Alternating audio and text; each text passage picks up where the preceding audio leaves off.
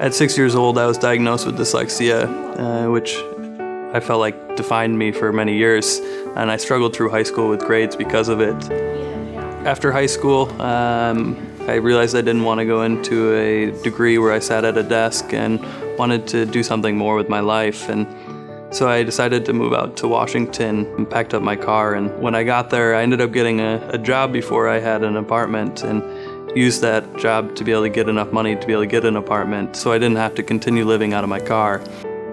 Living out of my car was really challenging because I never knew where I was going to stay that night and had to find somewhere new each night to park my car so that nobody could find me. Uh, I really wanted to go to Lane Community College because it had such a good reputation with the nursing program and the community looks at it as such a prestigious school because of how challenging it can be to get in.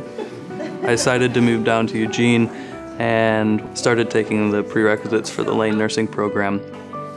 Within a few years, I was able to do well in those prerequisites and got accepted to the Lane nursing program, which meant a lot because it was something that I worried I would never be able to do.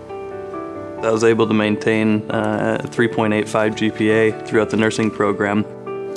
Uh, around tests, it gets really busy with schoolwork, so it's been really nice to be able to take a step back because of the scholarships uh, from work, so I don't have to work quite as much during those times.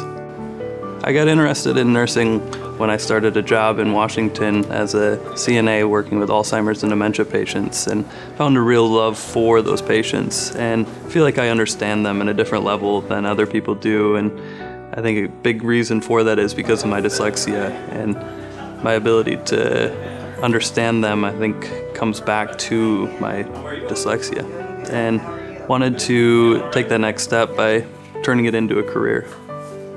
My goal is to open up an adult foster care and there's such a big need for that care for those patients because they fall into a gap where in our society they don't get the care that they actually need.